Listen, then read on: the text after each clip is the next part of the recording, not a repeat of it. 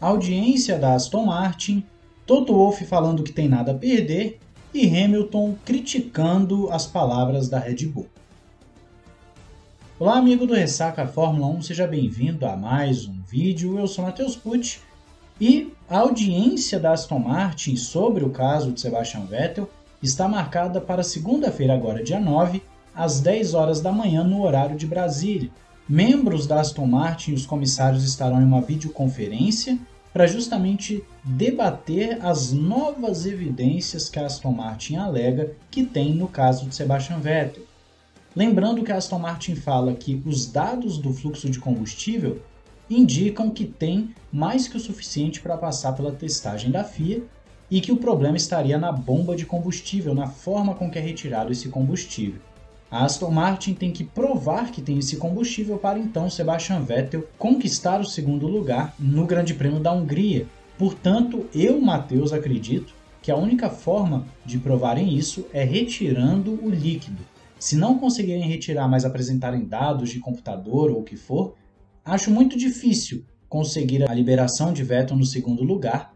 Então vai ficar um sistema um pouco nebuloso. O que, que a Aston Martin tem de tão significativo, de tão novo, a ponto de realmente fazer uma diferença enorme na forma com que a FIA abordou a situação. Porque lembrando, é uma questão de regulamento técnico, não existe meio termo, ou é ou não é. E por ficar nisso de ou é ou não é, é por isso que Sebastian Vettel está desclassificado por enquanto. Tudo que burla regulamento técnico é considerado infração grave, por isso a penalidade é um tanto quanto grave se as pessoas assim desejam pensar. Alguns acham exagerado, outros acham justo, mas o fato é que está bem complicada a situação para Aston Martin nesse caso da bomba e da gasolina de Sebastian Vettel. Vamos agora com Toto Wolff afirmando que tem absolutamente nada a perder com o campeonato de 2021. Ele fala isso justamente porque tem uma disputa com a Red Bull muito interessante e nós vamos conversar um pouquinho sobre ela agora. Toto Wolff diz o seguinte: Os últimos meses foram muito intensos. Tivemos um bom período no início da primavera, pudemos competir fortemente em Portimão e Barcelona e depois tivemos algumas corridas que foram realmente ruins, começando com Mônaco e depois Baku.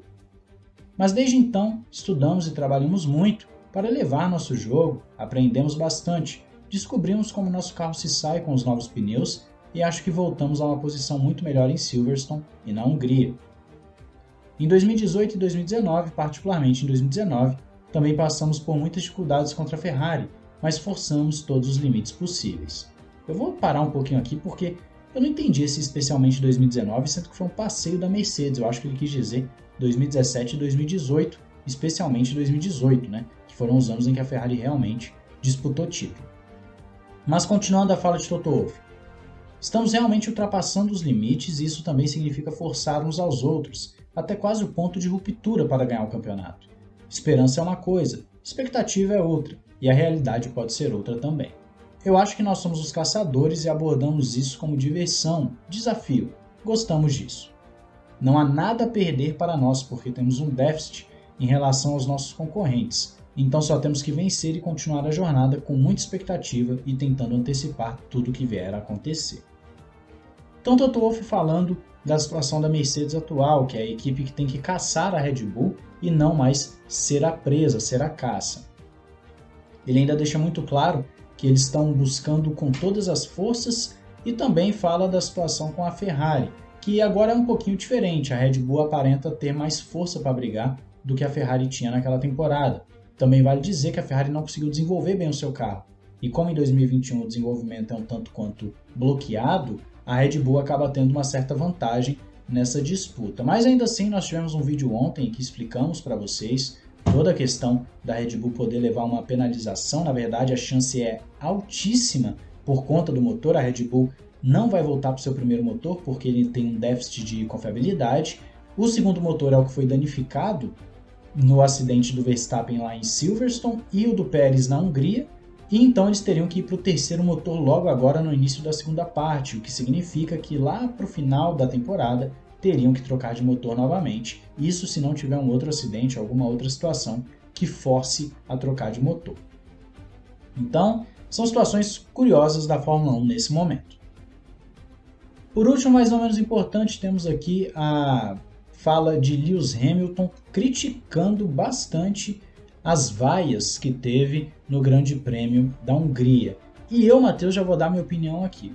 Se a vaia foi única e exclusivamente por uma questão esportiva, de uma torcida torcer para um piloto, a outra torcida torce para outro piloto, eu não vejo problema. Eu acredito que é até muito normal. Você vai no estádio de futebol, vai ao jogador adversário. Isso é normal, não vejo isso como sendo algo agressivo ou o que for. Acredito que às vezes as pessoas querem dramatizar demais coisas que não precisam ser dramatizadas. Por outro lado, tem a questão de que algumas pessoas passaram do tom e começaram a proferir ofensas racistas a Hamilton e também a outras pessoas. Aí já não é uma questão de vaia esportiva, aí nós já estamos falando de crime, de algo que é inaceitável. Então Hamilton leva para esse lado, do lado realmente racial. Vamos aqui ver o que, que ele falou. Não é uma surpresa para mim, dadas as coisas que foram ditas pelos chefes que incitaram isso. Isso ele está falando das ofensas. Acho que durante esse intervalo as pessoas realmente precisam refletir, porque foi inaceitável. Eles simplesmente tiveram que demitir alguém. Eu não sei de quem era, mas não importa. Se eu passar para meu amigo, ou meu pai ou meu irmão, todos nós sentiremos aquela dor do que eles quiseram dizer com as palavras. O Christian Horner diz o seguinte: Nunca foi nada pessoal sobre um único piloto. É sobre os eventos que aconteceram em uma competição entre dois caras. Não é individual para ninguém. Se fosse qualquer outro fator, a reação teria sido idêntica. Hamilton rebate da seguinte forma: temos que ser muito cuidadosos com nossas palavras, principalmente porque há crianças assistindo. Devemos encorajar as pessoas lá fora a espalhar positividade.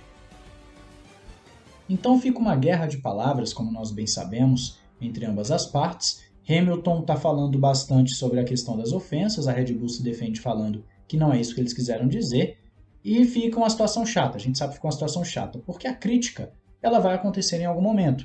Os caras batem, uma equipe vai achar que uma é errada, a outra vai achar que a outra é errada. Normal. O problema é quando passa do tom.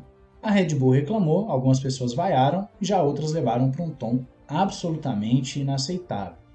Então a gente tem que saber lidar com isso. E eu acredito que a Red Bull vai pensar um pouquinho antes de falar alguma coisa, porque pegou mal para eles. Se a gente olhar no geral, não ficaram muito legais as falas de Christian Horner e Helmut Marko, até mesmo do Verstappen, enquanto o Hamilton também tem que ver que às vezes a vaia pode ter sido uma questão desportiva.